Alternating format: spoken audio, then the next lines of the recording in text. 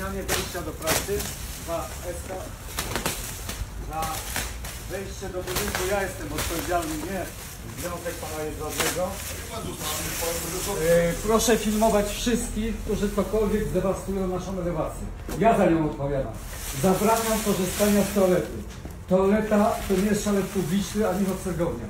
Każde zrobienie czegokolwiek złego na zewnątrz ma być filmowane, to jest do sądu. Do niczego więcej. Zabraniam takich rzeczy. Ja odpowiadam za budynek. Ja odpowiadam za budynek i nie zgadzam się na takie rzeczy.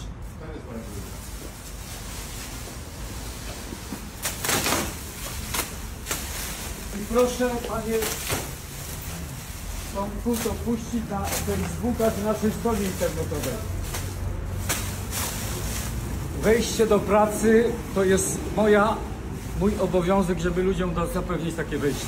Proszę jedną rzecz jeszcze zrobić. To proszę puścić na Facebooku, jakimkolwiek komunikatorze i proszę sfilmować tego pana, bo jest tutaj y, przedstawicielem sierpnia 80. To możecie sobie panowie wieszać u siebie. Mnie nie przeszkadza, jest wasza organizacja, która ma swój budynek. Jedna rzecz. Ten budynek jest w jurysdykcji Jastrzębskiej Spółki Węglowej, czyli mojej.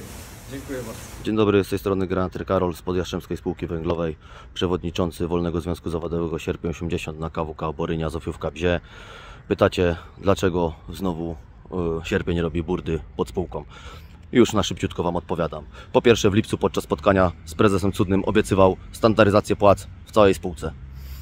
Jak widać po dzień dzisiejszy tej standaryzacji nie ma, a projekt ponadzakładowego układu zbiorowego pracy nadesłał tylko do związków reprezentatywnych.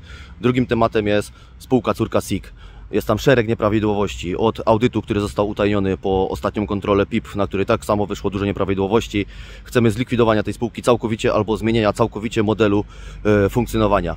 Nie może być tak, że jedni pracownicy przechodzą do JSW po trzech miesiącach, będąc pracownikami nie- niewykwalifikowanymi, a pracownicy robią wykwalifikowani tam po 5, 6, rekordzista nawet 8 lat. Trzecim tematem jest rozliczenie winnych katastrof na KWK Pniówek i na KWK Zofiówka. Czwartym tematem jest rozliczenie zarządu za oddanie 1,6 miliarda złotych do budżetu państwa zamiast inwestowanie w nasze kopalnie i w naszych pracowników. Tematem jest kontrola NIK względem przetargów, kontrowersyjnych umów, dziwnych zleceń, budowy kopalni Bzie i likwidacji, likwidacji kopalni Krupińskiej. Odnosząc się do porannego zachowania prezesa Cudnego, no to co tu można powiedzieć? No, mam nadzieję, że kolega z zarządu, pan prezes Wojtków, da numer, numer albo namiar na jakąś dobrą psychoterapeutkę, bo zachowanie było po prostu bardzo dziwne.